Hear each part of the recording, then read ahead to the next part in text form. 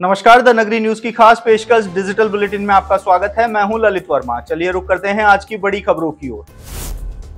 राजस्थान में सात सीटों पर हुए विधानसभा उपचुनाव में मतगणना की उल्टी गिनती शुरू हो चुकी है। 23 नवंबर को सातों सीटों पर मतगणना होने जा रही है। राजस्थान में झुंझुनू, खिवसर देवली उनियारा रामगढ़, चौरासी, दौसा सीट पर 13 नवंबर को मतदान हुआ था तो वहीं 23 नवंबर को मतगणना होगी। चुनावी समीकरण की बात की जाए तो सातों सीटों पर इस बार काफ़ी अच्छी टक्कर देखने को मिली है। तो वहीं राजनीतिक विशेषज्ञों की अगर बात की जाए तो चार से पाँच सीटें जीत का दावा बीजेपी की झोली में किया जा रहा है। इसके साथ ही कांग्रेस के खाते में एक से दो सीट जाने की संभावनाएँ जताई जा रही है।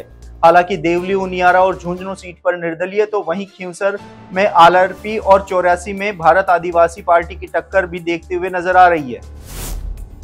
समरावता में 13 नवंबर को हुई घटना के बाद जाँच का विषय लगातार गहराता जा रहा है। किरोड़ीलाल मीणा की ओर से जहाँ इस पूरे मामले की जाँच संभागीय स्तर पर करवाने की बात कही जा रही है तो वहीं विपक्ष इस मामले की न्यायिक जाँच की मांग कर रहा है। तो वहीं दूसरी ओर बीते दिन किरोड़ी लाल मीणा सहित तीन मंत्री समरावता गाँव पहुँचे थे और ग्रामीणों से बात की थी तो उस समय भी ग्रामीणों द्वारा इस मामले की न्यायिक जाँच की मांग की गई, फिर से उठाई गई है। ऐसे में अब सरकार के सामने असमंजस की स्थिति है कि आखिर जाँच को लेकर क्या फैसला लिया जाए।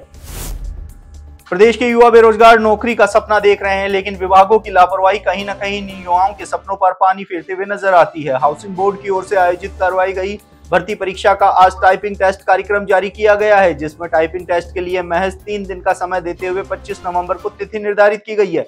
जबकि 25 नवंबर को ही बीएसटीसी की परीक्षा के साथ ही सूचना सहायक भर्ती के दस्तावेज़ सत्यापन की तिथि भी निर्धारित है। ऐसे में अब युवाओं ने हाउसिंग बोर्ड से टाइपिंग तिथि को परिवर्तित करने की मांग तेज कर दी है। हालाँकि हाउसिंग बोर्ड की ओर से टाइपिंग टेस्ट की तिथि नहीं बदलने की बात कही गई है।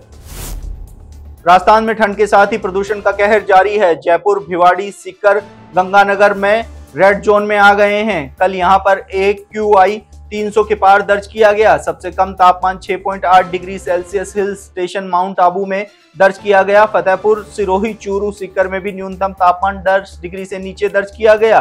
आईएमडी के अनुसार जयपुर, बीकानेर और भरतपुर संभाग में आज कुहासा जैसा वातावरण रहने की संभावना है। इसके साथ ही आने वाले दिनों में दिन और रात के तापमान में मौसम विभाग ने और गिरावट होने की संभावना जताई है।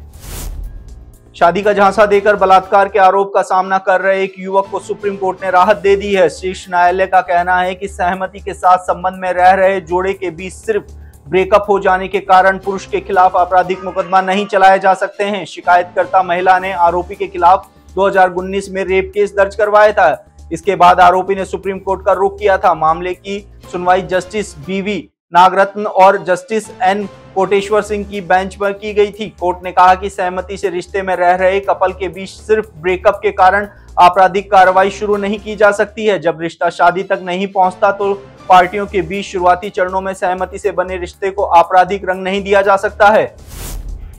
कनिष्ठ लेखाकार, तहसीलदार, राजस्व लेखाकार भर्ती से जुड़े अभ्यर्थियों ने आज राजस्थान कर्मचारी चयन अध्यक्ष और सचिव के सामने पीड़ा रखी। इस दौरान कर्मचारी चयन बोर्ड अध्यक्ष ने इन सैकड़ों युवाओं को सुना और उनकी मांगों को बोर्ड की तरफ़ से कार्रवाई का आश्वासन दिया। आपको बता दें कि राजस्थान कर्मचारी चयन बोर्ड ने साल 2023 में कनिष्ठ लेखाकार, तहसील राजस्व लेखाकार भर्ती का विज्ञापन जारी किया गया था। मगर अभी भी इस भर्ती को युवाओं को अंतिम परिणाम का इंतज़ार है। परीक्षा में कानूनी अड़चनों की वजह से न्यायालय ने स्टे दे रखा है। युवाओं ने इस भर्ती को न्यायालय में मज़बूत पैरवी करने की मांग बोर्ड अध्यक्ष मेजर जनरल आलोक राज से की। बोर्ड अध्यक्ष ने करीब एक घंटे तक इन युवाओं की पीड़ा सुनी। इन युवाओं को बोर्ड की तरफ़ से मज़बूत पैरवी करवाने का आश्वासन भी दिया गया। राहुल गांधी के निशाने पर एक बार फिर से गौतम अडानी नज़र आए। राहुल गांधी ने आईसीसी में प्रेस वार्ता करते हुए न सिर्फ़ गौतम अडानी साथ ही प्रधानमंत्री नरेंद्र मोदी पर बड़ा निशाना साधा है। राहुल गांधी ने आरोप लगाया है कि अडानी 2000 करोड़ रुपए का स्कैम कर रहे हैं और बाहर घूम रहे हैं, क्योंकि देश के प्रधानमंत्री नरेंद्र मोदी उनकी सुरक्षा कर रहे हैं। इसके साथ ही राहुल गांधी ने आरोप लगाते हुए कहा कि अडानी ने अमेरिका में क्राइम किया है, लेकिन भारत में उन पर कोई कार्रवाई नहीं की जा रही है। राहुल गांधी ने कहा है कि अडानी को प्रोटेक्टर सेबी की चेयरपर्सन माधवी बुच पर भी केस होना चाहिए।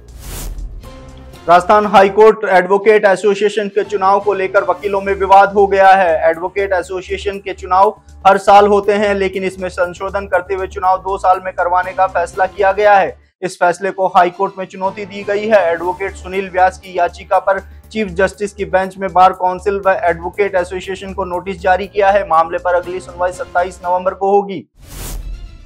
भारत और ऑस्ट्रेलिया के बीच पर्थ में पहला टेस्ट मैच 22 नवंबर से शुरू होने जा रहा है, लेकिन पहले टेस्ट में भारत की ओर से यशस्वी जायसवाल के साथ ओपनिंग कौन करेगा, इसको लेकर सवाल अभी भी बना हुआ है।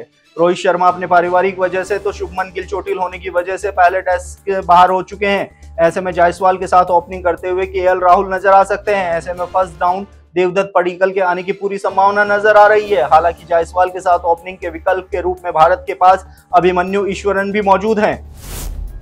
गूगल को अपने इंटरनेट ब्राउज़र गूगल क्रोम बेचना पड़ सकता है। दरअसल, यूएस डिपार्टमेंट ऑफ़ जस्टिस यानी डीओजे की ओर से गूगल क्रोम इंटरनेट ब्राउज़र को बेचने का दबाव बनाया जा रहा है। कोर्ट की ओर से इस मामले में फैसला सुनाया जा सकता है। मीडिया रिपोर्ट्स के अनुसार, गूगल सर्च पर गलत तरीके से मार्केट पर कब्जा करने के आरोप लगे हैं। यूएस सरकार गूगल क्रोम की मोनोपोली को कम करना चाहती है, इसलिए कदम उठाया जा सकता है। तो ये थी दिन भर की तमाम बड़ी खबरें। कल फिर से आपके साथ रूबरू होंगे। तब तक के लिए नमस्कार।